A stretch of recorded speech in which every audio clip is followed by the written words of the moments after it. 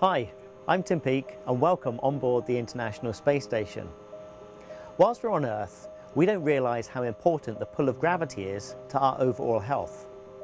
Up here in space, because we're floating, we have to exercise daily to limit the impact on our cardiovascular system.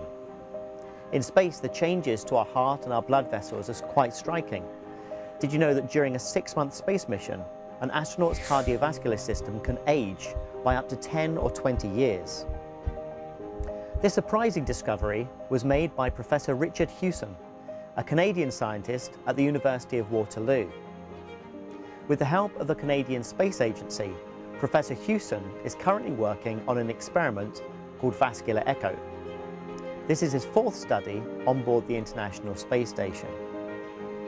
Vascular Echo examines changes in the heart and blood vessels whilst astronauts are in space, and it monitors their recovery when they return to Earth.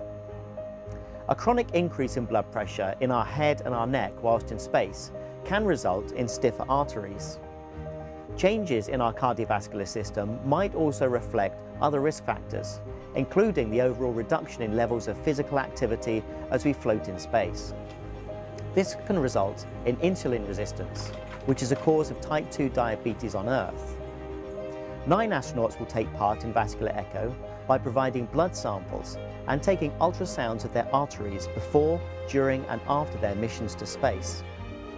The knowledge we gain from vascular echo could help to keep astronauts healthy in space, and it could also benefit people on Earth, especially those who are sedentary, the elderly or bedridden patients.